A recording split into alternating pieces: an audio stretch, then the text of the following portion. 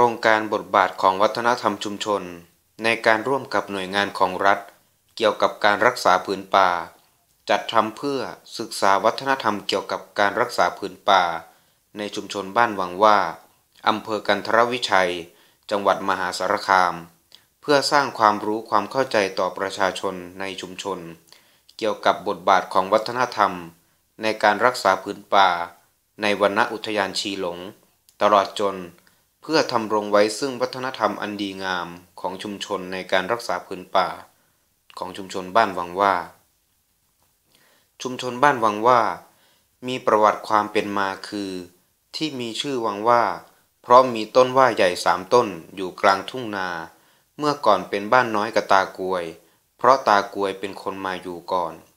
ชาวบ้านเรียกบ้านน้อยกับตากวย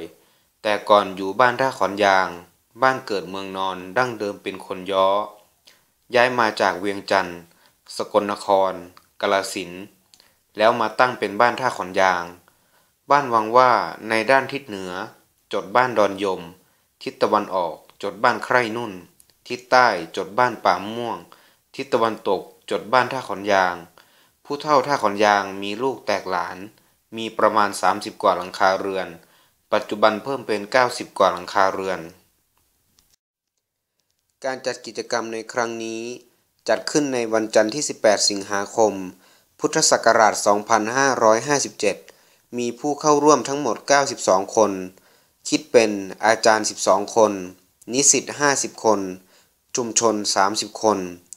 จากภาพรวมในกิจกรรมตามโครงการ บทบาทของวัฒนธรรมชุมชน ในการร่วมกับหน่วยงานของรัฐ เกี่ยวกับการรักษาผืนป่า ภายใต้โครงการหนึ่งคณะหนึ่งศิลปะวัฒนธรรม ได้มีการจัดกิจกรรมหลากหลาย อันจะเป็นคุณประโยชน์ในการรักษาผืนป่า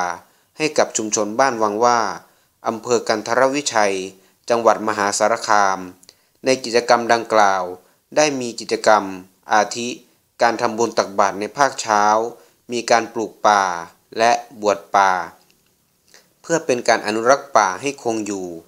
และเพื่อให้ชาวบ้านได้รู้ถึงคุณค่าของป่าที่ให้ประโยชน์กับมนุษย์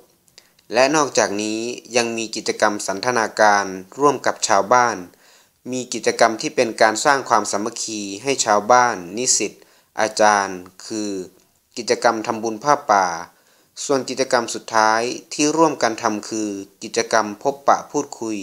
แลกเปลี่ยนความรู้ ระหว่างชาวบ้าน นิสิตอาจารย์ ซึ่งกิจกรรมทั้งหมด เป็นกิจกรรมที่มีความเกี่ยวโยงกับการรักษาผืนป่า ของชุมชนบ้านวังว่า เพื่อให้ชาวบ้านและหน่วยงานของรัฐ ได้มีส่วนร่วมในการรักษาผืนป่าร่วมกันต่อไป